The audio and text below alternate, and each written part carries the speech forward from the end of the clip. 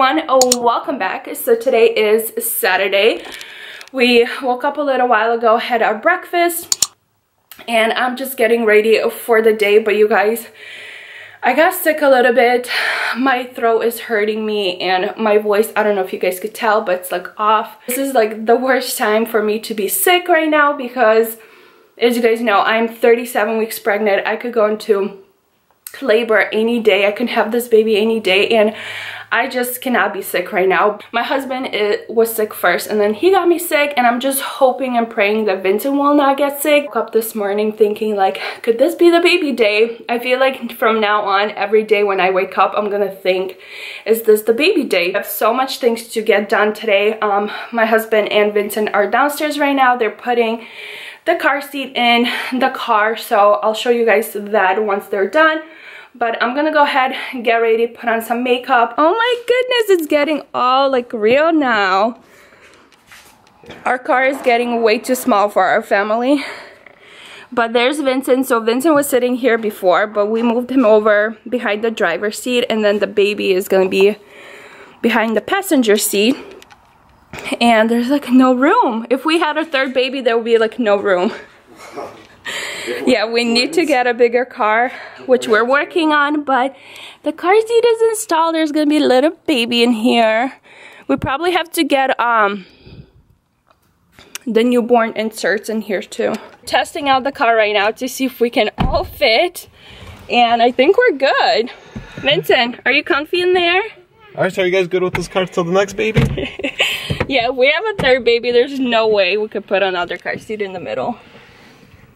But Vincent is good so over if there. I had to, this is good for him? Yeah. You still can move back. I think we got this figured out. I think we could keep this car cool. for a little bit longer. Yeah. So we got both of the car seats installed back in the car and I'm so happy that both of them fit in there. I was a little bit worried that it will be a, little bit squished and tight because we do have a little car, but they both fit. We still have plenty of room. Pretty happy about that.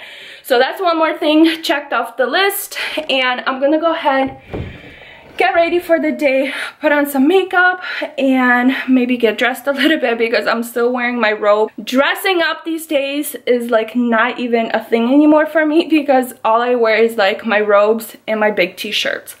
But today I'm gonna try to maybe like wear a dress or something. We'll see. I'm gonna go ahead, get dressed, and I'll talk to you guys in a little bit.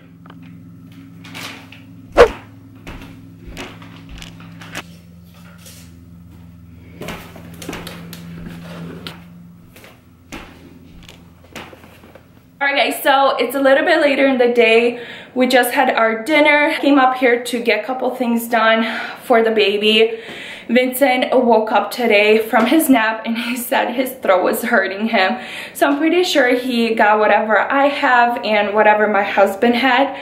Um, which sucks. I hope it goes away before the new baby gets here because you guys, we cannot be sick around the new baby. So I'm just praying and hoping everybody just gets over this sickness. I came to the nursery room because I needed to grab all the baby bottles and pacifiers because I need to sterilize them and get them clean for the new baby. I have a couple um, pacifiers. I have like these rubber ones and I also have these new ones um, that I'm planning to use with this baby also i have this one i'm not sure how i'm gonna sterilize this because obviously i can't put the whole thing in so i'm not sure how I'm gonna get this one sterile. Also have glass bottles, which I used with Vincent. I also have this Comotomo silicone bottle, which I'm not exactly 100% sure if you can boil this.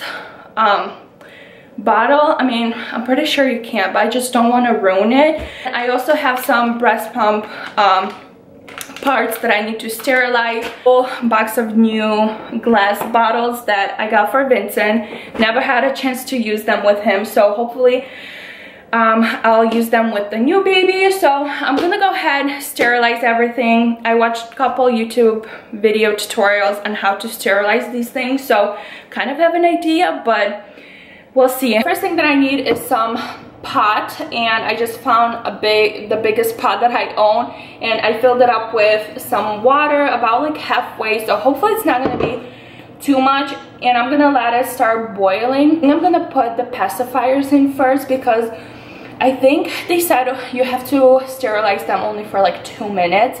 So they're gonna go in first and I'm gonna take them out first. And then I'm gonna add um, the rest of the stuff. So let me go ahead put this on the stove. Water is almost at the boiling point and I'm gonna go ahead and start adding everything in. Pacifiers first. And I think I'm gonna boil them for only like two minutes. I mean, I don't think you have to do it for longer than that, but could be wrong.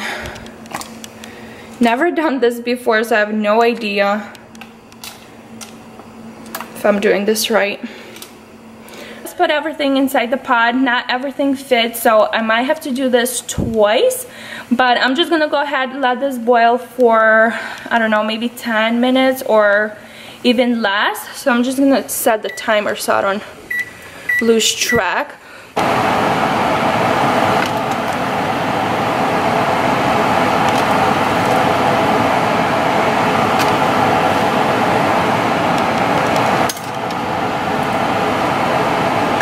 Everything just finished sterilizing. I think I sterilized it for about like 8 minutes. I didn't do the full 10 minutes.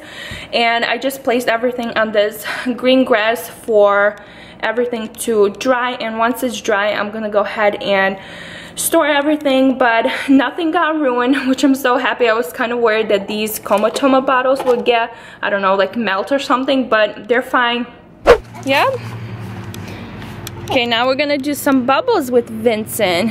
We're gonna blow them together. Yeah. Okay, hold the bottom. Okay, you ready for some more? Yes. Wow, look at these. There's so many.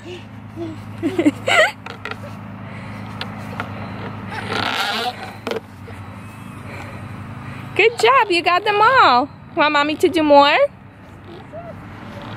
Okay, ready?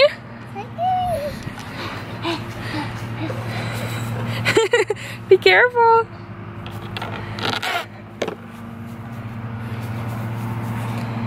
Oh look, there's one more. Come pop this one. Good job. Oh, there's another one. There is a little one. Hmm. Yay!